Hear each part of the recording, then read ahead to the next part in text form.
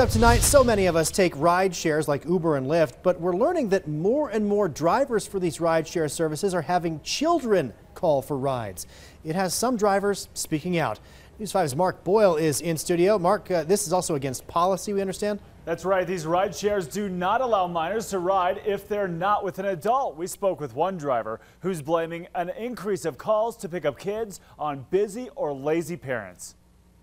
It started out where, you know, about a year ago, there was you know, maybe one a month. It would be the maximum you'd ever see. It's something that we use every day. Now it's it's on a routine basis where where you you question every single you know fare that, that you get a ping for. Ride shares to make it a little easier and more convenient to get around, but it is not child's play. We do not pick up unaccompanied minors, period. That there is no gray area it is something that, that you do not do.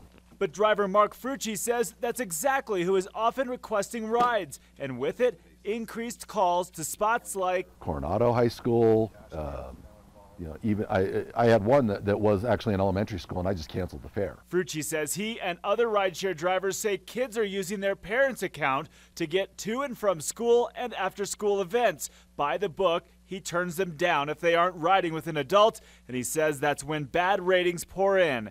Bad ratings for following the rules. It, it's very frustrating, and, and it gets to the point where, you know, you have to question every single time that there's a ping, and it's in a residential area. And, and it's like, well, is that at a school? Is that at someone's home that, that they're wanting me to pick their child up and bring them to school? He urges parents to take responsibility for getting your kids where they need to go and not abuse what is meant to be a convenience for the rest of us. And again, it is against uh, these rideshare rules to have a child ride alone, but kids are allowed to ride as long as they're with somebody who is over 18. For News 5, I'm Mark Boyle. Mark, thanks. Well, now to first.